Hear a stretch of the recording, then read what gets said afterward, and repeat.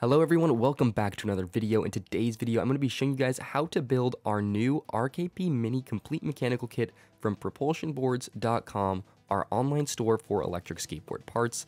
This is a modular, very easy to build, simple DIY electric skateboard drivetrain, perfect for beginners building their first electric skateboard. All of these components fit together really nicely. It's all been made specifically for this kit and it provides you with an easy to use, super powerful, super reliable first DIY electric skateboard drivetrain. The complete mechanical kit normally sells for $349.99, but right now we have a pre-order going on through mid-August where this kit will be selling for $299.99 and the kits will start shipping in mid-August. So make sure to go check that out. There's going to be a link in the description below. So now without further ado, let's get into how to assemble this electric skateboard drivetrain. So the first part are these trucks, and these trucks have been custom designed and made by us, perfect for DIY electric skateboard mini drivetrains. The main feature on these trucks that makes this kit so special are the built-in motor mounts on the rear hanger, allowing for super easy and reliable assembly of your electric skateboard drivetrain. There's a couple other trucks that do this, such as the Evolve trucks and all of the DKP clones, and a couple other RKP truck options, but these are the first standard width RKP trucks. They have the exact same width as caliber trucks, so they're much more narrow and perfect for compact or first DIY electric skateboard builds. When we set out to design these trucks, the first thing that we had in mind was the end user and the DIY electric skateboard community, and for that reason, modularity and future-proofness were key in designing these trucks. For that reason, these trucks have several features that are standard across many other truck options. The first is the axle that we used on this truck. It's a custom step-down machined axle that goes from a 10mm shaft to an 8mm shaft. And this is the exact same style of axle used on all of the DKP style boards, meaning that there are so many other wheel pulleys that are already compatible with these trucks. Second is the bolt pattern on the motor mounts built into the rear hanger, which are the exact same dimension as all of the DKP boards out there. This allows for some compatibility between these trucks and other off-the-shelf mounts, though it'll be important to check the exact angles first. Third are the bushings that we chose, which are the Riptide APS barrel bushings, which are widely available and available in so many different durometers so you can tune your board and trucks to perfections in the future. Second are the mounts. These mounts have also been custom designed and they're machined from 6061 T6 aerospace grade aluminum. They are precision manufactured and machined to be of the highest quality and they're made to fit 63 millimeter motors so they'll not only fit the 6354s that come with this kit but other 63 millimeter motors on the market. The motors that come with the kit are the 6354 170 kV motors from Flipsky. They are battle hardened and have a D-shaped motor shaft. They are each 2,450 watts for a maximum combined total output of 4,900 watts of power.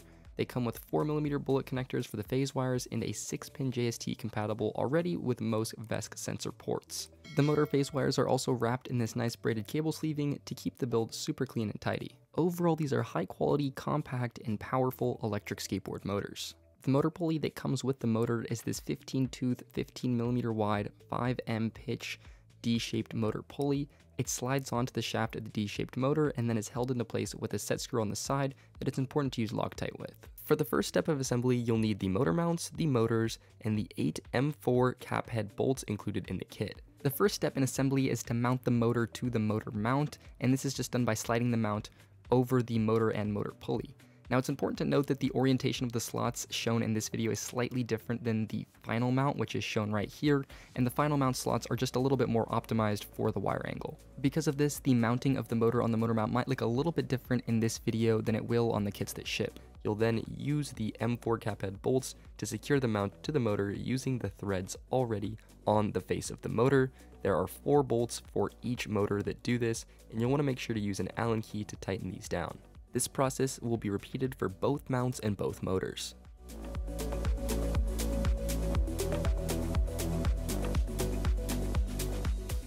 For step 2, the rear truck, the motor and motor mount assembly, and these 6 M5 bolts and 6 M5 nuts are needed. In step 2, the motor and motor mount are mounted to the rear truck. This is done by sliding the mount over the hanger and then using 3 M5 bolts to clamp the plate to the flange on the rear hanger. Once I've aligned the holes on the plate and the flange with the bolts, the next step is to use the nuts to thread on to the M5 bolts.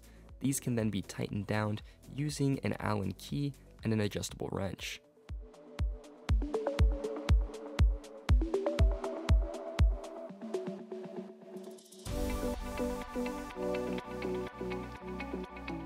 This process is repeated for both sides so that the drivetrain is symmetrical. If you have a cordless drill or driver, I highly recommend using that instead with a hex bit as it just goes so much faster with this process than having to hand tighten the bolts.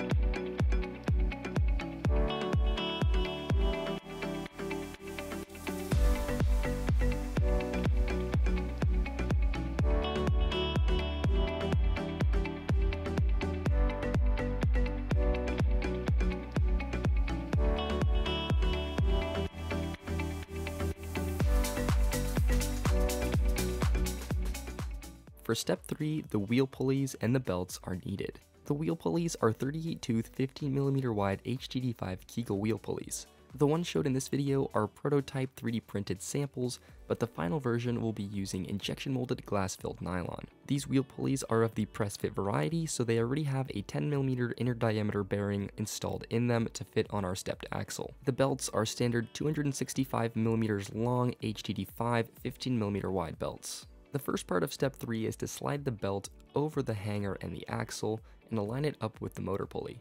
The wheel pulley can then be slid onto the shaft and then rotated into place until the belt aligns and the wheel pulley slides all the way down the axle. Once the belt has aligned with the two pulleys, the next step is to set the belt tension.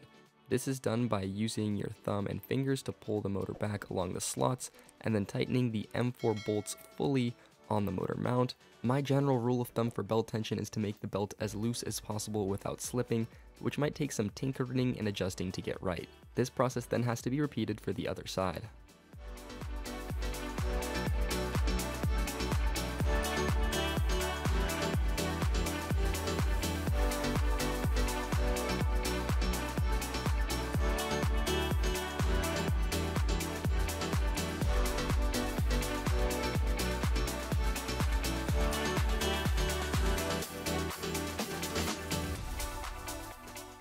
The belt covers are these custom 3D printed belt covers.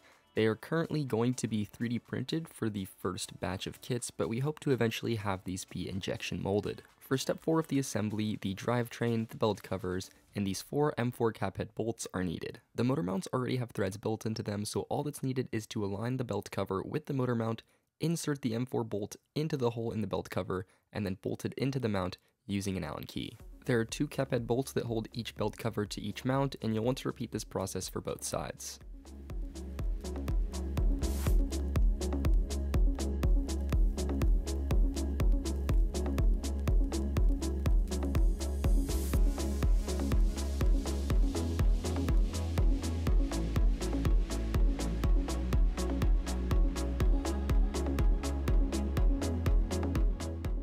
So there you guys have it, that's how you build the RKP Mini Complete Mechanical Kit from our online store Propulsion Boards.